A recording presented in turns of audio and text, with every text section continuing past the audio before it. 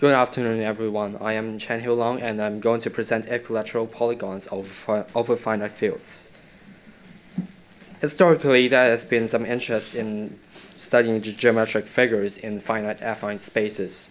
In the late 19th century, there is a result about the number of affine subspaces, but it is not until recently that Wildberger demonstrated the existence of some regular polygons in particular finite affine spaces in this current results, we present the approximate number of equilateral polygons as well as derive exact analytic formulas for the number of triangles and quadrangles in the plane. We also provide some insights of the problem in higher dimensional spaces. A field is an algebraic structure in which the operation addition and multiplication makes sense. The familiar examples include the rational numbers, the real numbers, and the complex numbers. A finite field is a field with finitely many elements, and it al always has a prime power order, and we denote such a field with f sub q. We can define a distance operator for this vector space over a finite field, and it is just the sum of the squares of the coordinates. An L-sided polygon is a set of L vertices, A1 up to AL, with no pairs of vertices are the same, together with a set of edges formed by adjacent vertices. An equilateral polygon is a polygon in which all edges satisfy the square distance is equal to some a for some fixed a, and we can simply consider polygons with the square distance being 1. Since not all elements have a square root in a finite field, we can define a quadratic character if a is a square root, then a in this in the quadratic character returns one, and otherwise a return the quadratic character returns minus one. A unit circle in the real plane is a set of points x comma y such that x squared plus y squared equals to 1. Similarly, we can define for f sub q the n minus 1 dimensional unit sphere in the same way we have this following lemma called the sphere formula that states that the number of solutions has to this sphere this sphere equation is this uh, expression. So it's uh, q to the n minus 1 plus some small error term. To count the number of equilateral polygons, we always let the origin be the first point of the polygon. If we assume that the points of the unit sphere are uniformly randomly distributed, then we have this following estimate. So here is the condition that the L points are uniformly distributed on the sphere. Here we impose the condition that the non-adjacent vertices are, uni are unique. And we also have this condition that the polygon closes up. If we multiply by the number of configurations, we obtain these, the whole estimate. By simple counting argument, the, the total number of polygons starting with an arbitrary starting point is the number of polygons starting at the origin times q to the n over L. How do we count the exact number of polygons? Well, if we have this deterministic algorithm uh, that that implies uh, that employs a recursive depth first search with a depth of L minus one. So in the first step, we can we construct a sphere with radius 1 consisting of all points A2 such that the square distance is equal to 1. Uh, in the next step, we, iter we, we iterate over all points of the sphere, each point being a choice of A2.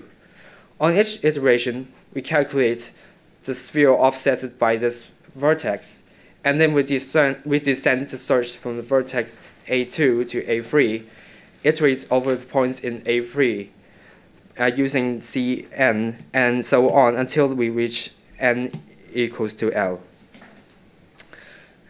Uh, if we reach a vertex an such that an equals to am, so the, po the polygon has a repeated vertex, uh, the polygon becomes invalid, and so we discard the polygon. In the left side, we have this polygon closes up before it reaches the last vertex, and here we also have the, the polygon being invalid because it has a cycle of three vertices. Finally, if we check that the last vertex does indeed close up into an equilateral polygon, uh, otherwise it is discarded and we restart the search from the last vertex.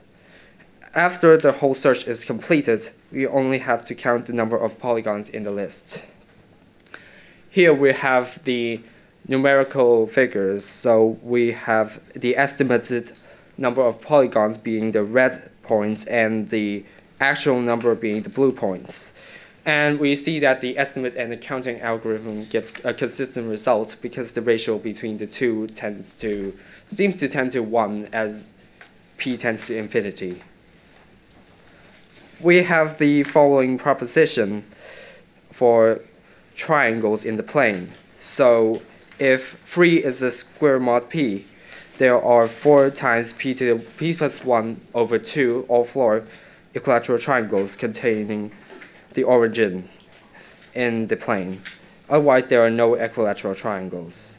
So we use the sphere formula to calculate the number of points on the circle, and then we parameterize uh, the one point in terms of the other. So we have this equation in terms of B2.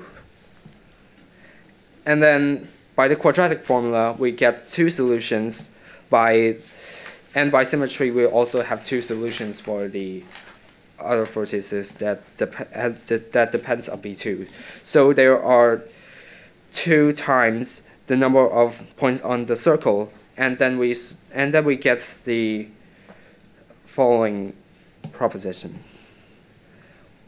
Uh, a corollary of this in um, prime power order finite fields is that if k is odd and 3 is a square mod p, there are the same number of equilateral triangles as we have in the previous case. And if k is even, then we have 2q plus 2 equilateral triangles. Uh, if k is odd, then the proof is just similar to before. But if p k is even, we have the square root of minus 1 being existent in this finite field. So the sphere formula says that are q plus 1 solutions, and then we can do the same thing. So we can get two q plus 2 equilateral triangles. A regular polygon is a polygon in which all adjacent edges satisfy AB dot BC equals to B. Basically, this means that the internal angles are all the same. In the case of quadrangles, uh, if we have this following proposition that can pretty much be deduced like the previous case in the case of triangles. So um, we also have following results for regular quadrangles as well. In higher dimensional spaces, we might, we might assume that every vector subspace of a finite field has an orthonormal basis. This implies that we can multiply the number of linear subspaces, n-dimensional linear subspaces in this finite this vector spaces, and then we obtain the number of m-planar equilateral polygons being this number times the number of equilateral polygons on just the plane. We also have the converse, which states that if a solution of vector equations lie on a plane, then it also lies on a vector space of lower dimension. Um, we also have uh, future directions for this investigation. So we, what are the finite field counterparts to the regular polytopes? And by changing the definition of a polytope, we, we also have some interesting questions, including some field extensions relating um, the real field extensions to a field extension of finite fields. We, in the most general case, we also have this problem of an equilateral graph, and we can ask if it is always embeddable into a finite field. If the conjecture that a graph with a dimension g has also embed can be also embedded into algebraic numbers, then we can modulo them into finite fields, and we can thus embed it into a finite vector space. Thank you.